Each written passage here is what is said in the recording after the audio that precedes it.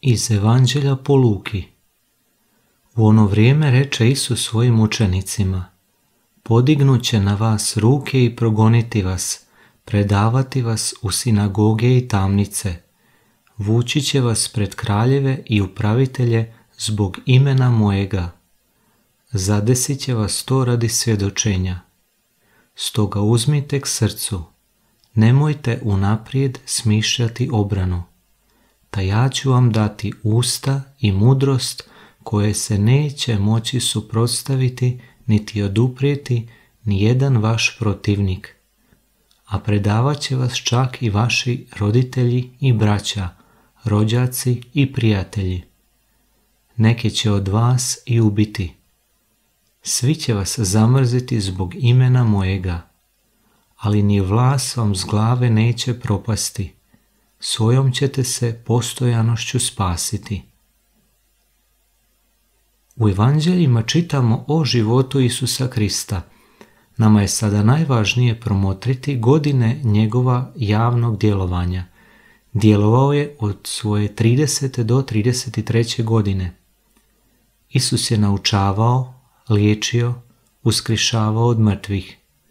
Za njega se pričalo da nitko nije poput njega govorio – možemo samo zamisliti Isusovu riječitost, blagost, prodornost, oduševljenost dok naučava o Božjem kraljestvu. Mnogima se svidio takav govor. Koliko god se Isus trudio, loše je završio. Eno ga na križu, razapinju ga, život mu oduzimaju. Prije toga su mu se rugali, mučili, a još prije povremeno bi ga napuštali njegovi učenici zbog tvrdog govora. Koliko god da je Isus bio svet i dobar, pa prema tome privlačan, tako je znao biti i odbojan u očima pojedinih ljudi. Mrzili su ga, smišali su kako da ga prebiju i kako da mu život oduzmu. To su više puta učinili. Isus je direktan u današnjem odlomku iz Evanđelja – svaki koji ga bude slijedio, svaki njegov učenik bit će progonjen.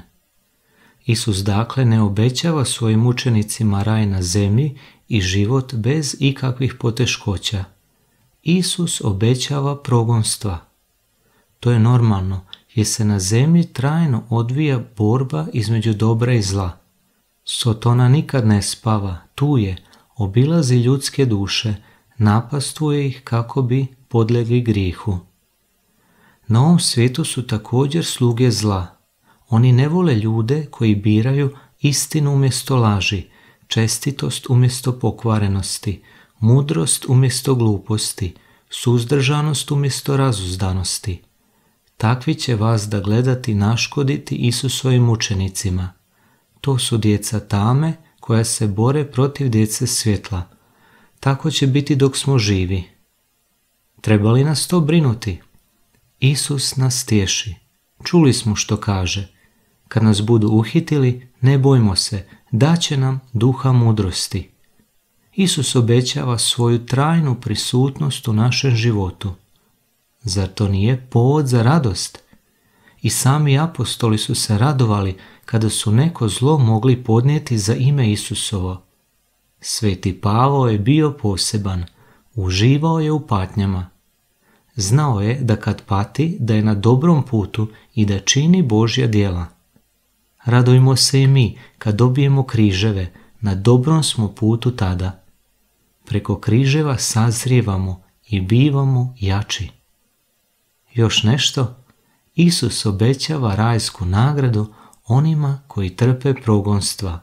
Izričito je rekao, blago progonjenima zbog pravednosti, njihovo je kraljestvo nebesko.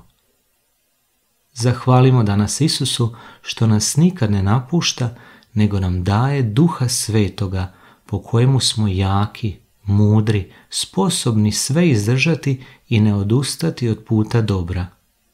Nasvjedujmo Isusa do samoga kraja. Još nešto. Isus nije poražen smrću na križu kako su mislili njegovi neprijatelji. On je uskrsno od mrtvih. Poraženi će uvijek biti njegovi neprijatelji. Bog uvijek pobjeđuje. Amen.